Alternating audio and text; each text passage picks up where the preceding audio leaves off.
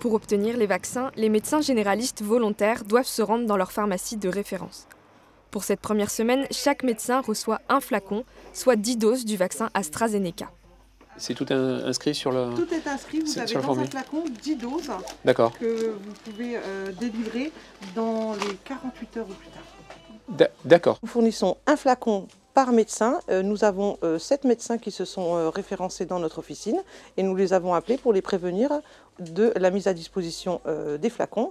Nous avons livré certains médecins et certains médecins se présentent pour récupérer leurs flacons. Contrairement au Pfizer, le vaccin AstraZeneca se conserve dans un réfrigérateur classique pendant 48 heures. À chaque praticien de solliciter ses patients volontaires souffrant de comorbidités, obésité, cancer, diabète ou encore hypertension. J'ai appris hier que les vaccins étaient à disposition. Donc j'ai donc 10 euh, vaccins euh, donc, à utiliser entre aujourd'hui et demain. Donc euh, ça ne va pas être difficile parce que j'ai déjà eu beaucoup de demandes depuis, depuis quelques jours. Donc il suffit juste de passer un, coup de téléphone et leur demander de venir au cabinet. La vaccination elle-même prend, prend très peu de temps. Les deux premiers patients de la journée sont venus en couple. Ils s'étaient manifestés de longue date auprès de leur médecin. Je suis à, risque et donc j'attendais impatiemment de pouvoir me faire vacciner pour me préserver parce que si jamais j'attrape le Covid, euh, ça risque d'être euh, grave pour moi. Voilà. Vous êtes rassuré? Oui.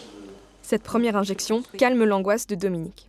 Autant ça ne me faisait rien dans les premiers mois en fait. Autant maintenant c'est vrai que ça me pèse. Je me surprends à grincer des dents en permanence, à faire des cauchemars la nuit.